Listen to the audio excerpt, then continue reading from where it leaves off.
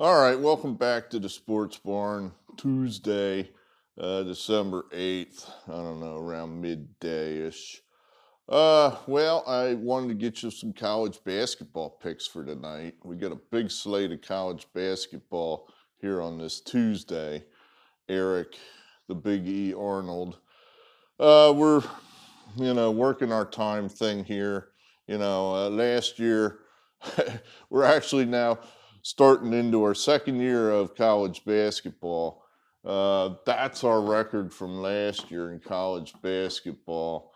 Uh, that was our year one of the uh, sports barn, I guess, the first season here in the sports barn. Uh, and that would be a legitimate record. In other words, no COVID.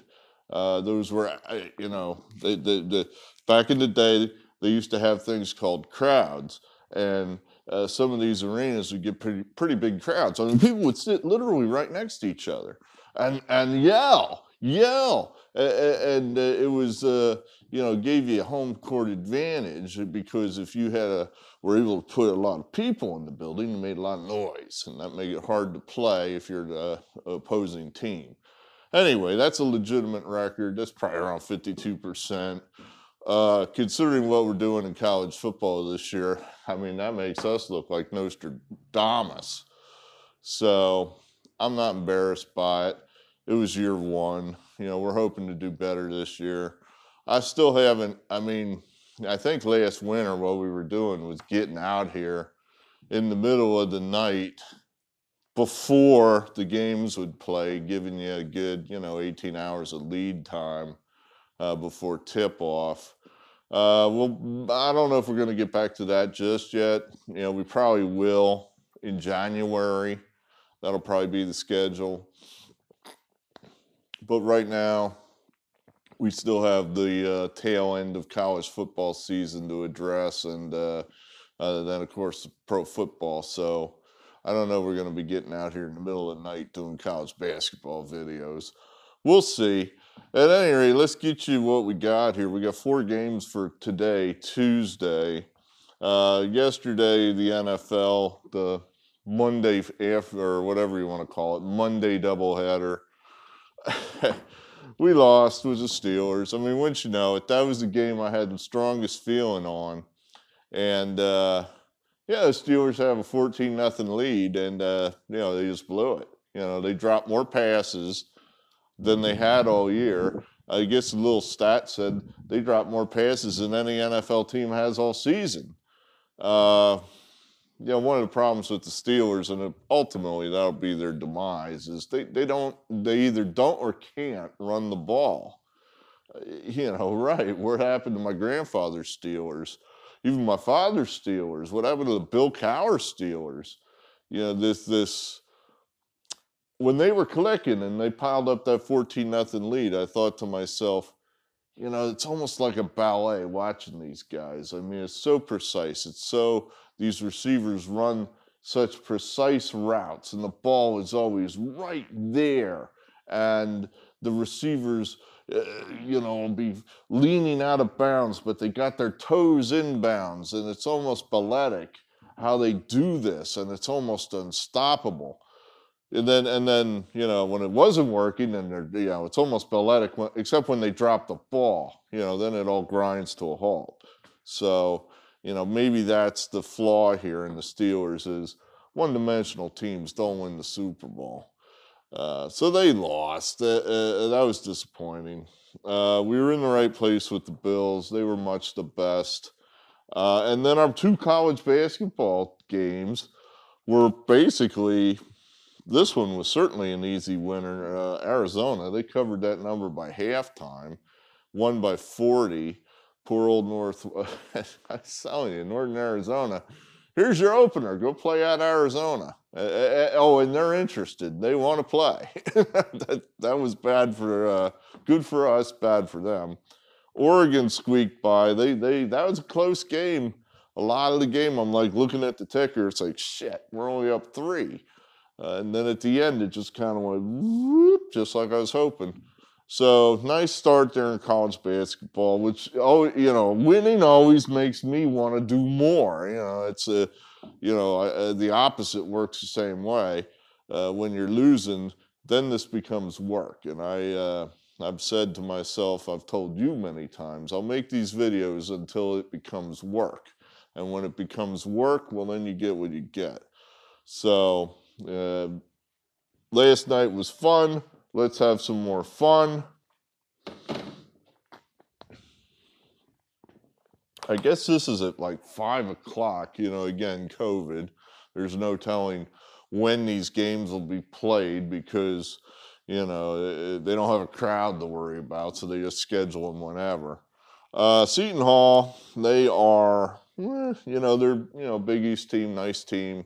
Uh, lost a couple of their top senior players. What was his name? Myles Powell. Uh, there was another guy, I think, uh, Quincy McKnight. Well, they're gone. So, but you know, it's a it's a Big East program. They they've got more talented guys coming up. They were on the bench. Now these guys get to play. Um, Wagner, they are a I'm going to say a Northeast team. I hope that's right. I hope that's right. Uh, Seton Hall's much the best here to me. You know, this is just a class play. Uh, the Wagner coach, we're not excited about his record. Uh, he's been there for like 10 years. I don't think he's made the tournament once. He's just kind of there. Uh, Seton Hall, the, the, the their coach, we think he's pretty good. You know, he I think my note said he was a Pitino guy. Uh, so uh, this is Wagner's first game. Again, we're back to this again, where Seton Hall's played some games. It, it, they they you know they're working it out. They're getting some uh, uh minutes. They're starting to learn uh, to play with each other. Wagner first game, tough tough uh, assignment first time out, Seton Hall, which is much, much better than they are. So we think Seton Hall's just going to blow these guys out. I think I put this, yeah, I put this one down as two stars because uh, I'm just double checking my notes here. Yeah, I, I, like that one pretty good. I mean, uh, you know, we got everything I look for a bad coach, um, first time they're playing against Seton Hall has already played. Yeah, this is what we like. We'll take Seton Hall there. Okay, so here's some action for you people. I know a lot of you are Ohio State fans. So here's some action for you. We got Ohio State going to South Bend. They're five and a half point favorites at South Bend. Um, what do we think about this? Well, I'm gonna. Uh, uh, um, one of our uh, uh, uh, number one subscribers is Rusty Hall, and Rusty subscribes to the theory that what in the hell has the ACC done for me lately? So we're gonna go along with that. We think Ohio State is the play here over an overrated ACC team, Notre Dame. Uh, I think Chris Holtmann is a better coach than Mike Brey is.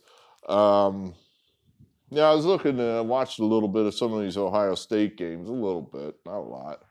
Uh, and I thought, well, we don't have that big guy, that, uh, uh, what was his name? Wesson. Wesson. Uh, uh, that's how old I am. I went to school when his father played at Ohio State. So, you know, Caleb Wesson, he's gone now. So we don't have that big guy in the middle, but I thought, you know, this team kind of looks a little bit like Villanova. Uh, they, they've got those guys that are all between six four and six seven, six eight, and they all can shoot. Uh, and uh, you know that's what Villanova tries to put together. Uh, you know, it's almost an interchangeable part type team where everybody can shoot a three. You know, that's the key. You got to be able to shoot. So I'm kind of hoping that's what Ohio State's putting together. That's a dangerous team if it is. Uh, so we'll lay the five and a half at South Bend. Uh, we like Ohio State there. Uh, this is another one where we're trying to hit a class mismatch, if you will.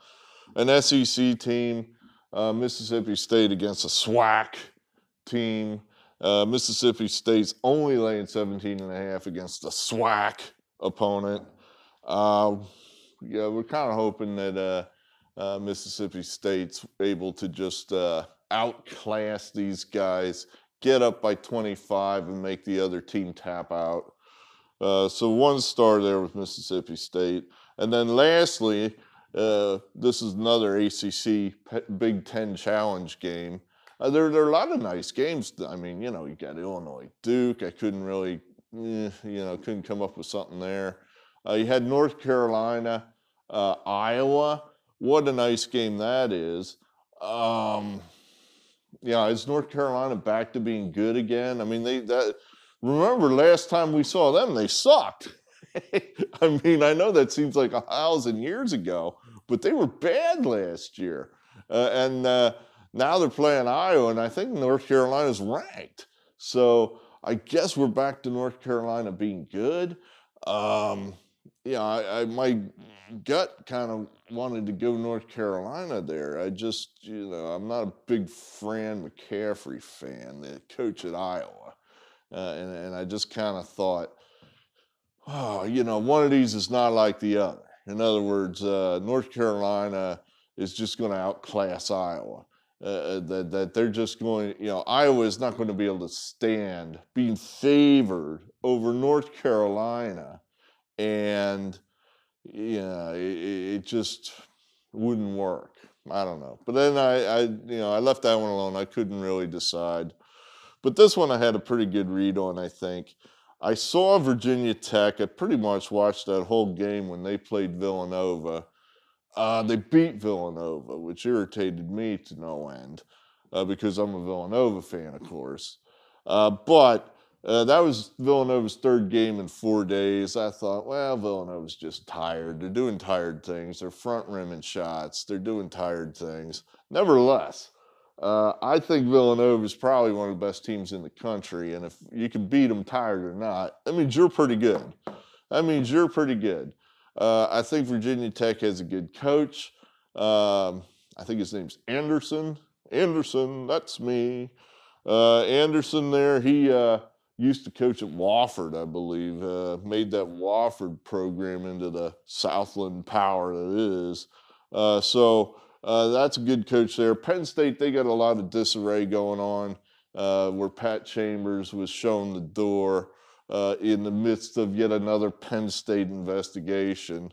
Uh, and now the guy they got there is an assistant who'd failed at Duke, uh, or uh, Duquesne, Duke, yeah, not Duke, Duquesne, out at Pittsburgh. So uh, yeah, I mean, I just think that uh, Virginia Tech's got much more solid foundation here. They probably are simply better than Penn State, and we'll take Virginia Tech at home in Blacksburg, uh, two stars there over Penn State, lay the five and a half. Uh, so, yeah, I actually did look, you know, I pay attention to this because I don't want to get pigeonholed into doing all one thing. I got all favorites again. Uh, but yeah, I think we're in the right place. Seton Hall to crush first time out Wagner, lay the 21. Uh, Ohio State outshoots Notre Dame up at South Bend, lay the five and a half. Mississippi State, lay the 17 and a half over the SWAC team. And then uh, at home, Virginia Tech uh, lay the five and a half over a discombobulated Penn State. So there you have that. All right, there's your college plays, uh, college basketball plays for Tuesday, the 8th uh, of December. Um, more videos coming, don't know when. Talk to you later. Thanks for being here. Hit the like button if you care to. I always appreciate it when you do that. Thanks, and I'll talk to you later.